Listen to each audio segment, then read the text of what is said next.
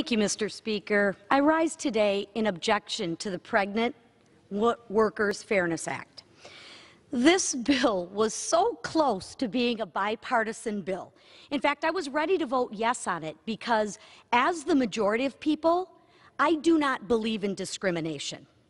But at the very last minute, the majority had to throw in a provision to actually allow discrimination in a bill that's supposed to be about non discrimination. The very last minute. Ranking Member Fox offered an amendment to protect and not to discriminate against religious organizations. Guess what the majority did? They voted it down. Remember, this is supposed to be a bill about not discriminating, yet we vote this down. Although the bill sounds good, and as a woman, and I will say I am a woman, as a mother, and I am proud to be a mother, I was also pregnant and a worker.